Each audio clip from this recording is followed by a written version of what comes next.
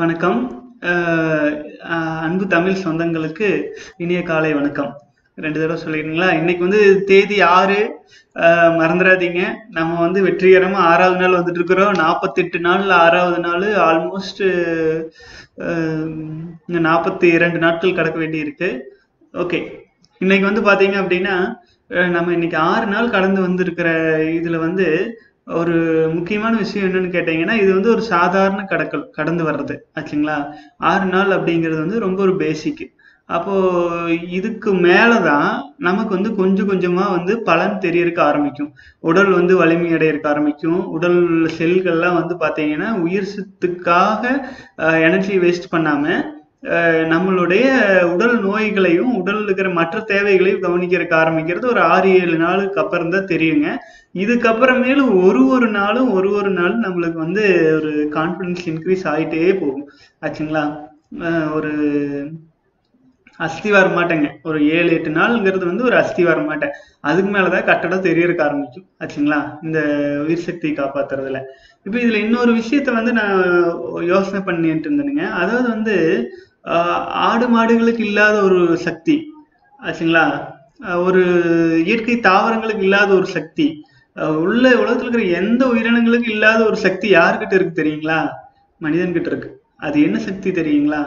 ஒரு தாவரம் வந்து தான் நினைச்சா கூட தன்கிட்ட இருந்து வர்ற விதைகளை குறைக்கத்தான் முடியும் ஒழியா நிறுத்த முடியாது கட்டுப்படுத்த முடியாது. அதே மாதிரி ஒரு விலங்குகளாகட்டும் அது வந்து உயிர் சக்தி வந்து வீணடிக்கிறது வந்து அது இயல்பாகவே வீண் ஆயிட்டு தான் இருக்கும் ஆச்சுங்களா? அது ஒரு குறிப்பிட்ட அளவுக்கு மீறி போறதுனால அது வீணடிக்காத விலங்குகள் வலிமையான விலங்குகளாக இருக்கும் ஆச்சுங்களா? ஆனால் மனிதன் வந்து மனிதன்கிட்ட ஒரு சக்தி இருக்கு. நம்மக்கிட்ட இருக்கிற விதைகளை நம்ம நினைச்சோம் அப்படின்னா வீணடிக்காமல் வாழ முடியும். ஆச்சுங்களா? வீணடிக்காம வாழ முடியும். அது இது அதுதான் அதுதான் இப்ப நம்ம பண்ணிட்டு இருக்கிறோம் இப்போ இப்ப நம்ம கிட்ட வந்து பாத்தீங்க அப்படின்னா ஒரு எப்படி சொல்றது? இப்ப நம்ம கிட்ட வந்து ஒரு ஒரு ஒரு முறை வந்து பல மில்லியன் உயிரணுக்கள் வெளியேறுது இல்லைங்களா? அந்த பல மில்லியன் உயிரணுக்களை வெளியேறாம நம்ம வந்து அமைதியா கட்டுப்பாடா இருக்கும்போது அந்த பல மில்லியன் உயிர் அணுக்கள் வந்து நமக்கு வலிமையா மாறிடும். ஆச்சுங்களா? நமக்கு மிகப்பெரிய வலிமையா மாறிடும். அந்த வலிமையை வந்து நம்ம வந்து ஒரு வாய் விட்டு சொல்ல முடியாதுங்க. அந்த காலத்துல சித்தர்கள் வந்து எட்டு சித்திகளை அடைஞ்சாங்க. அவங்க பதினெட்டு சித்தர்கள். அப்ப அவங்க வந்து நினைச்ச இடத்துல மறைஞ்சாங்க போனாங்க வந்தாங்க. எத்தனை சொல்லட்டுங்க. அது எல்லாத்துக்கும் அடிப்படை வந்து இந்த வித்து சக்தியை காத்து நிக்கிறதானுங்க அவங்க ஏன் இந்த உலகத்துட்டு மொத்தமா விலகி போய் காட்டுக்குள்ள உட்காந்துருந்தாங்க அப்படின்னா இது பத்தி சுத்த சிந்தனைகள் இல்லாம வாழ்றதுக்காகத்தான் ஆச்சுங்களா? ஒட்டுமொத்த ஞானிகளும் ஒட்டுமொத்த யோகிகளும் சக்தியை பெற முக்கிய காரணம் வந்து வித்து சக்தி வீணடிக்காம இருக்கிறது மட்டும்தான். ஆச்சுங்களா? அதுக்கான வழிமுறைகளை ஒவ்வொருத்தரும் ஒவ்வொரு மாதிரி சொல்லிக்கிட்டே இருப்பாங்க. ஆனா இப்ப நம்ம வந்து பிடிச்சிருக்கிறது வந்து பேசிக் ஆச்சுங்களா? நம்ம வந்து அந்த அந்த எட்ஜை பிடிச்சாச்சு. அத்தனை சித்தர்களும் ஞானிகளும் வந்து சொல்றதுக்கு முயற்சி பண்ணிட்டு இருந்த ஒரு காரியத்தை நம்ம நேரடியாவே எடுத்தாச்சுங்க கையில. ஆச்சுங்களா? நம்ம வந்து வழிமுறைகள்ல மயங்கி நிக்க வேண்டிய வேலையே கிடையாது. ஆச்சுங்களா? வழிமுறைகள் அப்படிங்கிறது தேவையே இல்லாத விஷயம். தேவை இருக்கு. அது எதுக்காக தேவை இருக்கு அப்படின்னா நம்மளுடைய வித்து சக்தியை காத்து நிக்கிறதுக்கு தேவையா இருக்கு. அதாவது எதைய காத்து நிக்கிறதுக்காக இந்த வழிமுறைகள் எல்லாம் நம்ம பண்றோம் அப்படிங்கிறது தெரியாததுனால வழிமுறைகள்லயே மயங்கி ஒரு மதம் இருக்கும் அப்படின்னா ஒரு ஐந்து முறை தொழணும் அப்படின்னு சொல்லிடுறாங்கன்னு. ஏன்னு கேட்டீங்கன்னா ஐந்து முறை வந்து ஆஹ் அமைதியா இருக்கும்போது நம்ம வந்து உடல் மனசு கட்டுப்பாடா இருக்கும். அப்ப வந்து அந்த வித்து சக்தி நீடித்தல்ங்கிறது தானாகவே ஒரு கட்டுப்பாட்டுக்குள்ள வரும் அப்படின்ட்டு.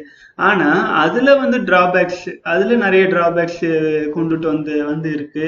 மனிதர்களால வந்து புனையப்பட்ட கதைகளோட சேர்ந்து கல்யாணங்கள் அதிகம் பண்றது குழந்தைகள் அதிகமா அதை நோக்கி போறது வந்து தவறான விஷயம். ஆச்சுங்களா? நமக்கு வந்து நம்ம இந்த பூமியில பிறந்திருக்கிறோம். எதுக்காக பிறந்திருக்கிறோன்ட்டு ஒரு காரணம் வேணும். நம்ம வந்து ஒரு அனிமல்ஸ் கிடையாதுங்க. ரீப்ரொடக்டிவ் பின்னாடியே சுத்திட்டு இருக்கிறதுக்கு. ரீப்ரொடக்ஷன் அப்படிங்கிறது வந்து எல்லா உயிரினங்களுடைய அடிப்படை. ஆனா நம்ம நாடு நம்மளுடைய நாட்டுல வந்து ரீப்ரொடக்ஷன்ங்கிறது தேவையில்லாத விஷயமாவே மாறிடுச்சு. இப்போ ஒருவனுக்கு நாம் இருவர் நமக்கு இருவர் வந்து ஒருவனு நாம் இருவர் நமக்கு ஒருவர் அப்படின்னு வந்து இப்ப வந்து பாத்தீங்க அப்படின்னா இப்போ ஒன்று ரெண்டு குழந்தைகளுக்கு மேலே யாருமே யோசிக்க கூட இல்லாத சூழ்நிலையில கொண்டு வந்து நிறுத்தி இருக்கிறாங்க அது கிட்டத்தட்ட சரிதான். ஆனா அந்த சரியான பாதையை எப்படி அச்சீவ் பண்றது? குழந்தை வேண்டாம் வேண்டாம் வேண்டான்ட்டு இருந்தா அச்சீவ் ஆயிருங்களா? அதுக்கு ஆல்டர்னேட்டிவ் என்ன? ஆல்டர்னேட்டிவ் தான் இப்ப நம்ம பண்ணிட்டு இருக்கிறது. ஆச்சுங்களா? ஆல்டர்னேட்டிவே இல்லாம நேரடியாவே இதை சொல்லிட்டு இருக்கும்போது அது பாதிப்புல போய் முடியுதுங்க. இப்ப நம்ம வந்து வித்து சக்தியை காத்து நிக்கிறது மூலமா உடம்பு வலிமை அடையும் மனசு வலிமையடையும் நினைக்கிற எண்ணங்கள் வலிமையடையும் செய்யற செயல் செயல்ல தொழில்ல அத்தனையிலையுமே வந்து பாத்தீங்க அப்படின்னா ஒரு மிகப்பெரிய பூஸ்ட் கண்டிப்பா கிடைக்கும். நாற்பத்தெட்டாவது நாள் போக போக. ஆனா ஒரு விஷயம் சொல்றேங்க. இப்போ நம்ம வந்து ஒரு நம்ம கையில ஒரு கிடைத்தற்கரிய பொக்கிஷம் இருக்கு. நம்ம கிட்ட வந்து ஒரு ஒரு அ- ஒரு அஞ்சு கிலோ பொருள் கையில கொடுத்தா தாங்குவோம். ஒரு பத்து கிலோ பொருள் கையில கொடுத்தா தாங்குவோம். ஒரு ஆனா ரொம்ப நேரம் தாங்க முடியாது. இதே ஒரு ஒரு ஒரு நூறு கிலோ ஆகும்போது தாங்க முடியுமா? முடியாது. உடம்பு சூடாகும். ஆச்சுங்களா? இதுல தவறிடுறாங்க. இருபத்தஞ்சு நாள் இருபது நாள் தாண்டும் போது உடல் வந்து அது தாங்குற கெப்பாசிட்டி போயிருது. சூடாகுது. அது வெளியேற்றியே ஆகணும். இல்லைன்னா கோபம் வருது. ஆச்சுங்களா? அதோட உடம்பு தாங்க முடியாத அந்த எரிச்சல் உணர்வு பிளஸ் இது எல்லாமே சக்தியை கட்டுப்படுத்தி வர வர வர சைடு எஃபெக்ட்ஸா வர ஆரம்பிக்கும். அந்த சைடு எஃபெக்ட்ஸ் எல்லாம் வராம இருக்கணும் அப்படிங்கிறதுனால தானுங்க நம்ம யோகிகள் சித்தர்கள் இந்த யோகா தியானம் மெடிடேஷன் அப்படின்ட்டு அந்த பாதையை மாற்றினது அப்புறம் ஒரு குறிப்பிட்ட காலம் வந்து ஒரு நாற்பத்தஞ்சு ஐம்பது நாள் வந்து இந்த பாதையை மாற்றும்போது உடம்பு அதுக்கு பழகிரும்.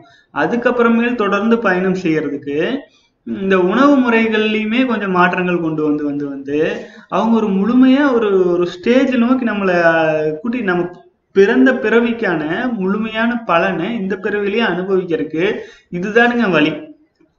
ஓகேங்களா? நம்ம சொத்து சேர்த்துறோம் ஒண்ணும் இல்லைங்க. இப்போ பாரு ஒரு ஒரு நாலு ஏக்கர் தோட்டம் வாங்குறோம். அதுல வேலை செய்யறோம் இப்போ என்னென்னமோ அதுல நமக்கு தெரிஞ்சதெல்லாம் செய்யறோன்னு வைங்களேன். அதுல எல்லாம் வேலையும் செஞ்சு முடிச்சுட்டு கடைசியில் நம்ம அதை எடுத்துட்டா போறோம். சொல்லுங்க காலம் பூரா வேலை தான் செய்ய போறோம். ஆச்சுங்களா? செஞ்சு செஞ்சு நமக்காக நம்ம என்ன செய்யறோம் நம்ம வாழ்ற வாழ்க்கையில நமக்கு என்ன பயன் இருக்கு? அப்படின்னு வந்து சிந்திக்கணும். சிந்திக்கிறதுக்கான முயற்சியை எடுக்கணுங்க எல்லாருமே.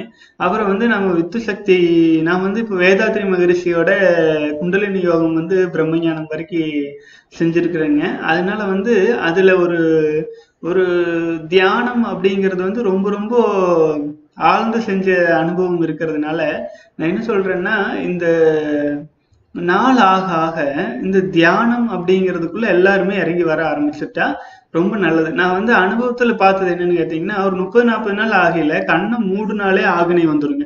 துரியம் வந்துடும் அது அதே வித்து சக்தி கையில இருக்கும்போது இல்லாத சமயத்துல முக்கு முக்குன்னு முக்குனா கூட அந்த ஆக்கினையோ துரியமோ எதுவுமே வராது. எந்த உணர்வுமே வராது. உடம்பு எரிச்சல் தவிர வேற எதுவுமே வராதுங்க.